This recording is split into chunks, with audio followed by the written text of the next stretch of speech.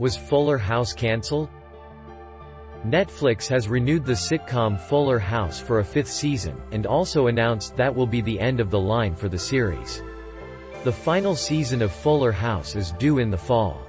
The video announcement is above.